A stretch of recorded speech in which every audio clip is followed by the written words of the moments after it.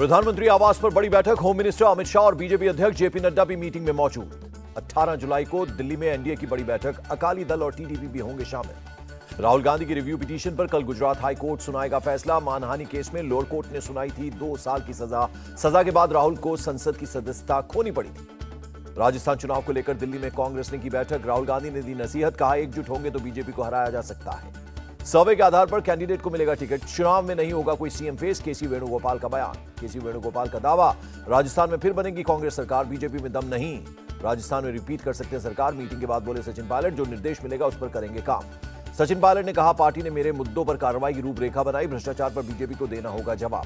CM Ashok Gehlot ने कहा, राजस्थान में फिर बनेगी कांग्रेस की सरकार। जनता सरकार के काम की तारीफ़ कर रही है। कर्नाटक की तरफ़ से राजस्थान से भी साफ़ होगी बीजेपी। मंत्री प्रताप खाचरियावास का दावा। राजस्थान कांग्रेस नेता नीरज डांगी का बयान, सचिन पायलट की भूमिका केंद्रीय नेतृत्व तय करेगा। बीजेपी नेता सतीश पूनिया का निशाना, कांग्रेस की आंतरिक खींचतान ने राज्य में शासन को कमज़ोर किया। कांग्रेस में कन्हैया कुमार को बड़ी ज़िम्मेदारी, एनएसयूआई के प्रभारी बनाए गए। शरद पवार ने फिर भरी उंकार कहा बयासी हो या बानवे, मायने नहीं रखती उम्र, मैं ही हूँ, एनसीपी का अध्यक्ष। शरद पवार ने कहा, अगर कोई एनसीपी पर दावा कर रहा है तो गलत, जनता इन्हें सिखाएगी सबक। अजीत पवार ने शरद पवार की बैठक को बताया गैर कानूनी कहा मामला इलेक्शन कमीशन के पास। अजीत पवार ने नरेंद्र नरेंद्र राणे को एनसीपी का मुंबई अध्यक्ष नियुक्त किया, खुद लेटर सौंपा। राहुल गांधी ने शरद पवार से की मुलाकात, कांग्रेस की तरफ़ से अपना समर्थन जताया। सत्ताईस प्रदेश कमेटियों ने जताया शरद पवार पर भरोसा, राष्ट्रीय कार्यकारिणी की बैठक के बाद बोले पीसी चाको। राजनीति में कोई रिटायर नहीं होता, अजीत पवार की टिप्पणी पर लालू का पलटवार। लालू यादव का 2024 को लेकर दावा, बोले महागठबंधन की आएँगी 300 सीटें।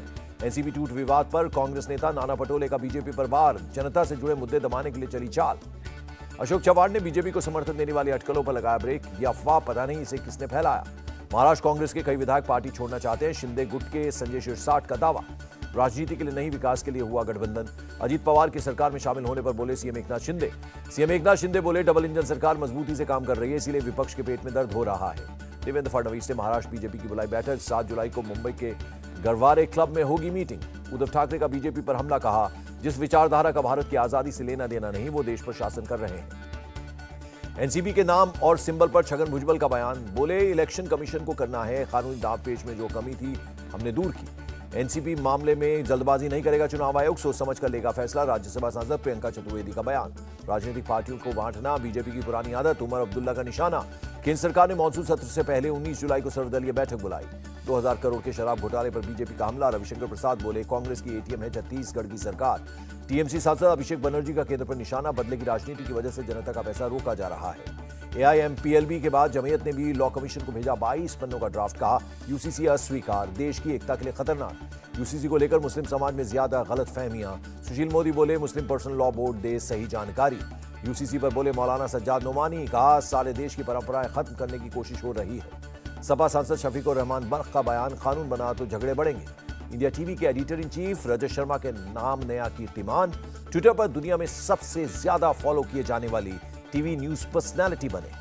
इंडिया टीवी के चेयरमैन के ट्विटर पर दस दशमलव सात मिलियन फॉलोअर्स हुए।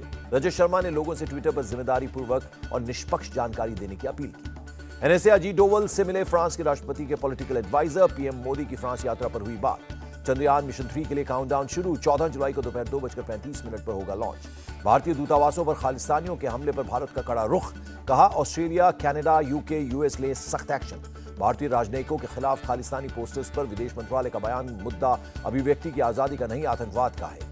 भारतीय दूतावास पर कोई भी हमला बर्दाश्त नहीं, ब्रिटेन के विदेश मंत्री का ट्वीट जांजीबार में खुलेगा आईआईटी मद्रास का कैंपस। जयशंकर ने समझौते पर किया हस्ताक्षर। लखनऊ में पुलिस से बोले सीएम योगी, हमें बिना भेदभाव के लोगों को देनी है सुरक्षा। गोरखपुर में पीएम मोदी कल वंदे भारत ट्रेन को दिखाएँगे हरी झंडी। सीएम योगी ने रेलवे स्टेशन और गीता प्रेस का लिया जायजा।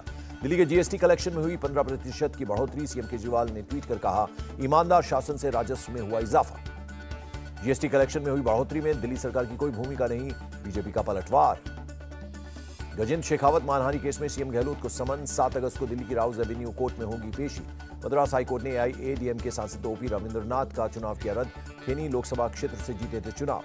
शिवलिंग के साइंटिफिक सर्वे की मांग, हिंदू याचिकाकर्ताओं ने सुप्रीम कोर्ट से जल्द सुनवाई की मांग की। दिल्ली पर केंद्र सरकार के अध्यादेश पर सुनवाई को सुप्रीम कोर्ट तैयार, दस जुलाई को होगी सुनवाई। सीएम शिवराज सिंह चौहान ने धोए सीधी कांड के पीड़ित के पाँव घर बुलाकर किया सम्मान। शिवराज सिंह चौहान ने कहा, समाज के किसी भी वर्ग का अपमान बर्दाश्त नहीं करेगी सरकार, पीड़ित से माफ़ी भी मांगी। कमलनाथ का सीएम शिवराज पर पलटवार, बोले, आत्मा सच्ची होती है तो बिना कमरे के, कैमरे के पीड़ित से मिलते कमलनाथ बोले, शिवराज सिंह को आदिवासी समाज नहीं करेगा माफ़ सीधी जैसी सिर्फ़ दस फ़ीसदी घटनाएँ ही आती हैं सामने। बीएसपी चीफ मायावती ने भी सीएम शिवराज सिंह चौहान पर साधा निशाना बोली, ये पश्चाताप नहीं, नाटकबाजी।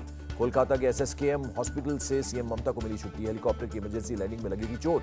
असम में आदिवासी विद्रोही संगठनों के हज़ार से ज़्यादा लोगों ने डाले हथियार, सीएम बोले, शांति की ओर एक और कदम बढ़े। पश्चिम बंगाल के मुर्शिदाबाद में दो बैग में बम बरामद, पुलिस ने केस दर्ज किया। दिल्ली में बस और वैन की ज़बरदस्त टक्कर, तीन लोगों की मौत, आठ लोग घायल हो गए। तीस हजारी कोर्ट में परिसर में फायरिंग का मामला, तीनों आरोपी वकीलों को कोर्ट में किया गया पेश।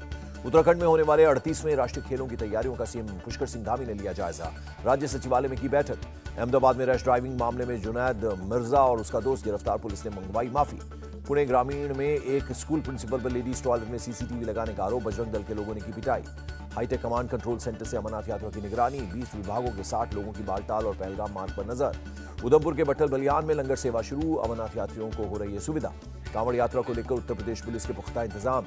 एक हज़ार एक सौ पैंसठ कांवड़ मार्ग मंदिरों पर की सुरक्षा व्यवस्था। हरिद्वार में हर की पौड़ी पर कांवड़ियों पर बरसाए गए फूल। डिस्ट्रिक्ट एडमिनिस्ट्रेशन ने हेलीकॉप्टर से फूल बरसाए। मुजफ्फरनगर में भी कांवड़ यात्रा रूट सुरक्षा चौकस, रास्ते में तीन हज़ार सीसीटीवी कैमरों से रखी जा रही है नज़र। दिल्ली के औरंगज़ेब लेन का नाम, एपीजे अब्दुल कलाम लेन हुआ, नई नेम प्लेट का हुआ अनावरण। शिवपुरी मामले में आरोपियों के मकानों पर बुलडोजर एक्शन। अब तक छह आरोपी गिरफ़्तार। महाराष्ट्र के गढ़ चिरौली में नक्सल मददगार अरेस्ट। 2000 की नोट में साढ़े सत्ताईस लाख कैश किया बरामद। दिल्ली के रोहिणी में पुलिस की कॉन्ट्रैक्ट किलर के साथ मुठभेड़। पुलिस की जवाबी फायरिंग में किलर के पैर में लग गई गोली। तेलंगाना के नलगोंडा में स्कूल बंद करने का विरोध। पेरेंट्स ने टीचर्स को क्लास में किया बंद। असम के कार्बी आंगलांग में दो ड्रग पैडलर अरेस्ट। करीब एक किलोग्राम हेरोइन बरामद। तमिलनाडु के चेंगलपट्टू कोर्ट में बमबारी एक शख्स घायल। मध्यप्रदेश के धर्मपुर में बिजली गिरने से तीन लोगों की मौत। एसपी धर्मराज मीणा बोले, पीड़ित परिवारों की मदद की जाएगी। दिल्ली के अंबेडकर नगर में निर्माणाधीन बिल्डिंग गिर गई। कई लोगों को किया गया रेस्क्यू।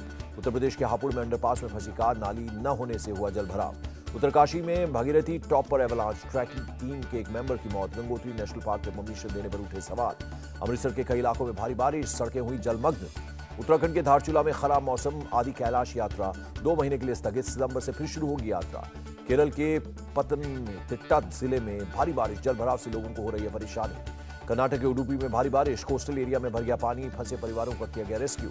गाजियाबाद में नगर निगम कमिश्नर के घर के बाहर पानी भर गया। राजनगर, इंदिरापुरम जैसे पौष इलाकों में जल भराव से लोगों को हुई परेशानी। कर्नाटक के हसन में एक किसान के 50 बोरी टमाटर चोरी हो गए। चोरों ने खड़ी फ़सल को भी किया बर्बाद, ढाई लाख का नुकसान केस दर्ज। मुरादाबाद में आड़ती ट्रेड यूनियन ने की हड़ताल। मंडी में गंदगी समेत सात मांगों को लेकर धरना बढ़ सकते हैं सब्जियों के दाम। पटना में भी सब्जियों के दाम आसमान पर पहुँचे। टमाटर का रेट एक रुपए प्रति किलो तक हुआ। तोशाखाना मामले में इमरान खान को मिली पेशी से एक दिन की छूट। अब सात जुलाई को कोर्ट में पेश होंगे इमरान खान। रूस का यूक्रेन के लवीव में हमला। चार लोगों की मौत, नौ घायल, कई इमारतों को नुकसान पहुँचा। साउथ अफ्रीका के जोहान्सबर्ग में गैस लीक। अब तक 24 लोगों की मौत हो गई। दो दर्जन से ज़्यादा लोगों की हालत खराब। दिल्ली में वित्त मंत्री निर्मला सीतारमण की मीटिंग, सरकारी बैंकों के चेयरमैन के साथ की समीक्षा बैठक। यूएस डॉलर के मुकाबले रुपया पच्चीस पैसे कमज़ोर, एक डॉलर की कीमत बयासी रुपए पचास पैसे। शेयर बाज़ार में रिकॉर्ड स्तर का उछाल सेंसेक्स तीन सौ उनतालीस, अंक चढ़कर पैंसठ हज़ार सात सौ पचासी पर हुआ बंद। निफ्टी भी बढ़ोतरी के साथ उन्नीस हज़ार चार सौ सत्तानवे पर बंद हुआ। नोवक जोकोविच ने ग्रैंड स्लैम में जीता तीन सौ पचासवां मैच। विम्बलडन में तीसरे दिन ऑस्ट्रेलिया के जॉर्डन थॉम्सन को हराया। पाकिस्तान क्रिकेट बोर्ड प्रबंधन समिति के नए अध्यक्ष बने जका अशरफ। चार महीने के लिए हुई नियुक्ति। वरुण सोपती के थ्रिलर शो कोहरा का ट्रेलर रिलीज़ पुलिस वाले के रोल में आएँगे नज़र।